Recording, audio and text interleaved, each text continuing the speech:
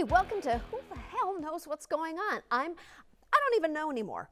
Ladies and gentlemen, our long national nightmare is still going or maybe not. I don't know. Check back later. If the theme of election night 2016 was what is happening, the theme of election night 2020 was what is happening?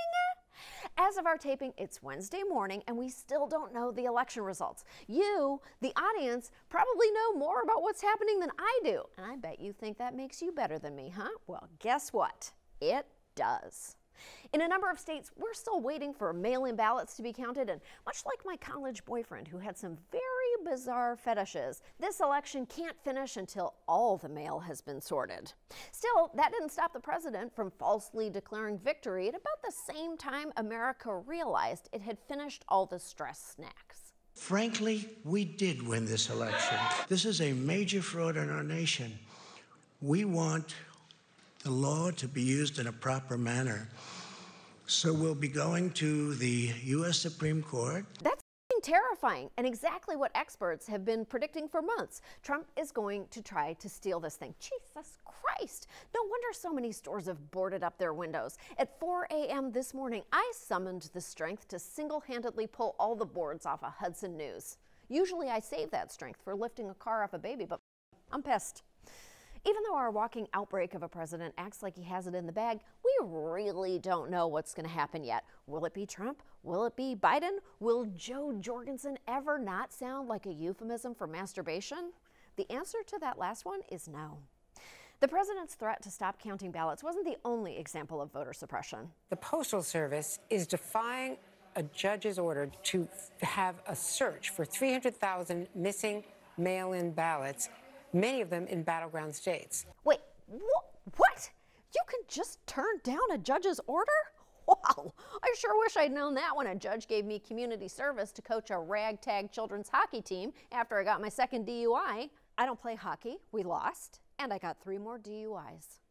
Watching Trump proudly announce he's going to try to dismantle democracy was the most disgusting thing I saw last night, which, you know, is crazy because it beat out this. They are deciding things just all the time in there. Senator Mitch McConnell, majority leader now, gave a acceptance speech.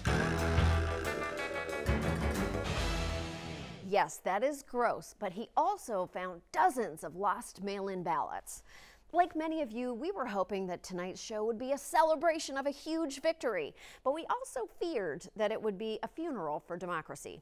Instead, we're kind of in a horrifying middle, which sucks, I know.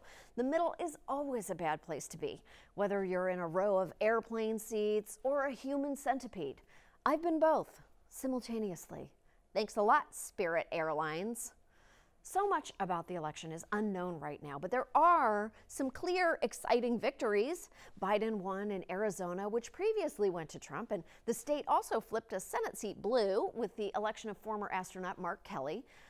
A man from space came down and saved us. That is literally the premise of Superman.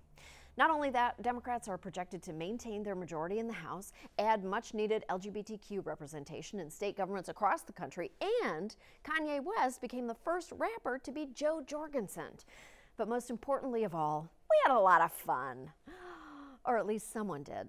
This is why elections are fun. Strap in at home, brew extra coffee. This is real. These are votes shellacked. The president's getting shellacked. That is how you get math. Suburbs is where you get your math. And a big dump of votes come in. We've always known if Joe Biden could rebuild the blue wall, forgive me, Donald Trump would pay for it. This is why it's exciting and fun. Man, the hamster running in John King's brain must be exhausted. That dude was so intense, he'd make Adderall anxious, which was in direct opposition to one of CNN's main sponsors, the meditation app Calm. That's right, Calm, the app that brings you serenity, peace, and the chance to rub one out to Matthew McConaughey reading a sleep story. Meanwhile, on MSNBC, we got to live the experience that was the Kornacki cam, which was like the Shiba Inu puppy cam, but without all the drama. We got to watch Steve Kornacki eating his pen, Steve checking his phone, Steve taking a bathroom break, and Steve still checking his phone. Steve, honey, what's on your phone that's so important? Aww, it's a smaller big board.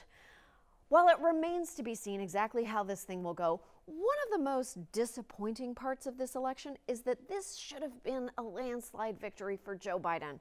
We're suffering through historic unemployment, human rights abuses on the border, white nationalist domestic terrorism, a worsening pandemic, and couch divots so deep you could lose a kid in, which I did. We knew it was very likely that we wouldn't have all the results on election night or even the day after. But in order to protect our democracy, we must keep fighting to make sure every vote is counted.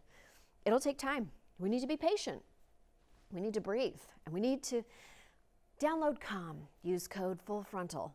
Like, it's not going to get you any sort of discount, but it will be a secret code to the app developers that you use their tech to Jo Jorgensen to Matthew McConaughey. If you liked this video, hit subscribe and leave a pleasant comment below. Let's ride out the rest of this nightmare year together, okay? Okay? All right.